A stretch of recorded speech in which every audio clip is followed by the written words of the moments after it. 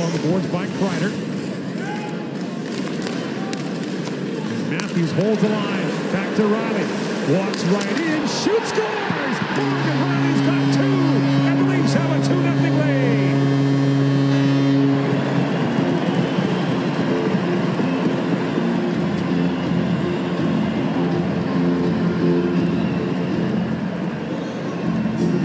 Morgan Rielly's all of a sudden on fire here.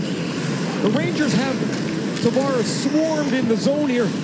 He's sitting on the pocket as Kreider battles for it. Zibanejad's kind of hunting it like it's going to be a two-on-one. So he gets way over on the left side of the ice. As he does, that opens up Morgan Rielly to walk in, drag this around Jacob Trouba, and slide it through the legs. Shesterkin, two goals for Rielly.